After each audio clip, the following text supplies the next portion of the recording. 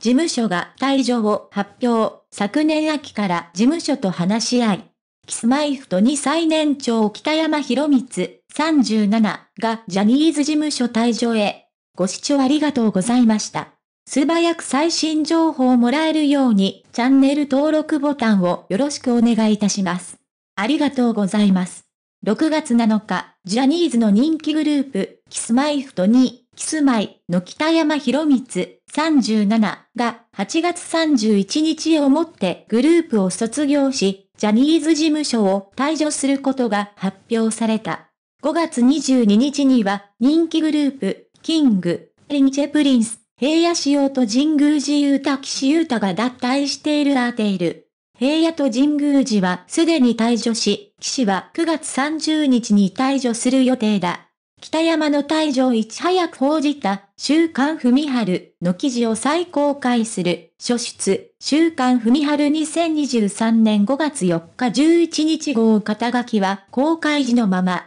キング、リンチェのメンバーだった今でついに1ヶ月を切ったタップ。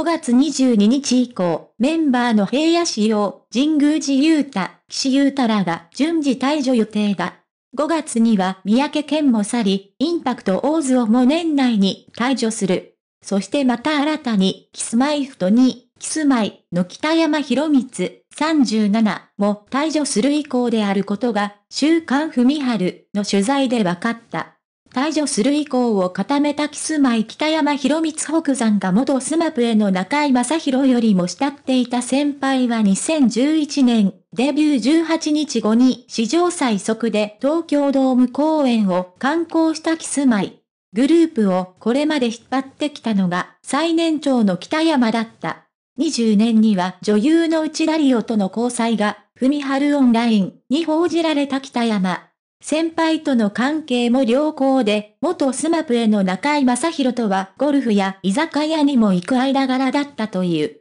ただそれ以上に北山が慕ってきたのが滝沢秀明だった。昨年秋から何度も事務所と話し合いを重ねていた15年の滝沢歌舞伎に滝沢から指名を受けて出演が決まった時には片思いから両相違になれたと語っていたほど滝沢も北山の生意気なところを買っており、二人で食事に行くなど、愛弟子のように可愛がっていた事務所関係者。だが中井に続き、滝沢までもが昨年10月、事務所を去って行った。そして、昨年秋から何度も北山は事務所と話し合いの場を持っていました。滝沢が退場決めで周囲に相談、三宅も事務所と交渉し始めた頃です。別の事務所関係者。現在、退場時期を調整中3月に少子がジャニーズ事務所に北山と話し合いをしているかと質問したが、事務所は否定しなかった。